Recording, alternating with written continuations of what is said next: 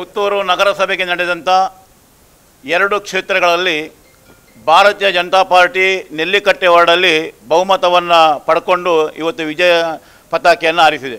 ಅದೇ ರೀತಿ ರಕ್ತೇಶ್ವರಿ ವಠಾರದಲ್ಲಿ ನಾವು ಬರಬೇಕಿತ್ತು, ಆದರೆ ಯಾವುದೋ ಒಂದು ಅನಿವಾರ್ಯ ಸಂದಿಗ್ಧದ ಪರಿಸ್ಥಿತಿಯಲ್ಲಿ ಭಾರತೀಯ ಜನತಾ ಪಾರ್ಟಿ ಕೆಲವು ಓಟುಗಳ ಅಂತರದಿಂದ ಸೋತು ನಾವು ಅದನ್ನು ಸವಾಲಾಗಿ ಸ್ವೀಕರಿಸುವಂಥ ಅವಕಾಶವನ್ನು ನಮಗೆ ಮತದಾರರು ಒದಗಿಸಿಕೊಟ್ಟಿದ್ದಾರೆ. ನಾನು ನನ್ನ ವೈಯಕ್ತಿಕ ನೆಲೆಯಲ್ಲಿ ಎರಡೂ ಕಡೆ, ಆ, ಒಂದು ಅಭ್ಯರ್ಥಿಗಳ ಗೆಲುವಿಗೆ ಕಾರಣಕರ್ತರಾದಂಥ, ನೆಲ್ಲಿಕಟ್ಟೆಯಲ್ಲಿ ಗೆಲುವಿಗೆ ಕಾರಣಕರ್ತರಾದಂಥ ಮತ್ತು ನಮಗೆ ಅಷ್ಟು ಓಟು ಪಡ್ಕೊಳ್ಳಿಕ್ಕೆ ರಕ್ತೇಶ್ವರ ಪಟೇಲ್ ಸಹಕರಿಸಿದಂಥ ಎಲ್ಲ ಕಾರ್ಯಕರ್ತ ಬಂಧುಗಳಿಗೆ ಮತ್ತು ಮತದಾರರಿಗೆ ಈ ಮೂಲಕ ಅಭಿನಂದನೆಗಳನ್ನು ಸಲ್ಲಿಸಲಿಕ್ಕೆ ಸಂತೋಷ ಪಡ್ತಿದ್ದೇನೆ ನಾನು ಹೇಳೋದು ಇಷ್ಟೇ, ಭಾರತೀಯ ಜನತಾ ಪಾರ್ಟಿ ಯಾವುದೇ ವ್ಯಕ್ತಿಯ ಪಿತ್ರಾರ್ಜಿತ ಆಸ್ತಿ ಅಲ್ಲ.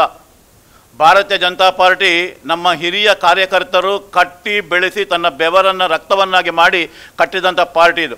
ಇವತ್ತು ಈ ಪಾರ್ಟಿಗೆ ಡ್ಯಾಮೇಜ್ ಆಗೋ ರೀತಿಯಲ್ಲಿ ಹಲವು ಜನ ನಾವು ಮಾಡಿದ್ದು ನಾವು ಮಾಡಿದ್ದು ಅಂತ ಹೇಳ್ತಾರೆ ಅವರು ಏನು ಮಾಡಿದ್ದಿಲ್ಲ.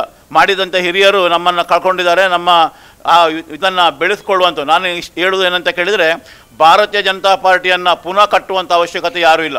ಭಾರತೀಯ ಜನತಾ ಪಾರ್ಟಿಯನ್ನು ನಾವು ಏನು ನಮ್ಮ ಹಿರಿಯವರು ಕಟ್ಟಿದ್ದಾರೆ, ಅದನ್ನು ಬೆಳೆಸುವಂಥದ್ದು ಮತ್ತು ಅದನ್ನು ಉಳಿಸಿಕೊಳ್ಳುವಂಥ ಮಹತ್ವವಾದಂಥ ಜವಾಬ್ದಾರಿ ನಮ್ಮೆಲ್ಲರ ಮೇಲಿದೆ. ಆದ್ದರಿಂದ ನನ್ನ ವೈಯಕ್ತಿಕ ಅಭಿಪ್ರಾಯ ಅಂತ ಕೇಳಿದರೆ, ಯಾರೆಲ್ಲ ಪಕ್ಷಕ್ಕೆ ಡ್ಯಾಮೇಜನ್ನು ಮಾಡಿದ್ದಾರೆ ಈ ಸಂದರ್ಭ ಇರ್ಬೋದು ಮೊದಲಿರ್ಬೋದು ಇನ್ನೂ ಮಾಡ್ತಾ ಮಾಡ್ತಾರೆ. ಅವ್ರನ್ನೆಲ್ಲರನ್ನ ನನ್ನದೇ ದಾಟಿಯಲ್ಲಿ, ನನ್ನದೇ ಭಾಷೆಯಲ್ಲಿ ಹೇಳೋದಂತಾದರೆ ಹೊದ್ದು ಹೊರಗೆ ಹಾಕೋದೇ ಒಳ್ಳೆಯದು ಅಂತ ನನ್ನ ಅಭಿಪ್ರಾಯ, ನನ್ನ ವೈಯಕ್ತಿಕ ಅಭಿಪ್ರಾಯ ಇದು. ಬೇರೆ ಯಾರದ್ದು ನಾನು ರಾಜಕೀಯವಾಗಿ, ನಾನು ಭಾರತೀಯ ಜನತಾ ಪಾರ್ಟಿ ಬಗ್ಗೆ ಮಾತಾಡ್ತಾ ಇಲ್ಲ.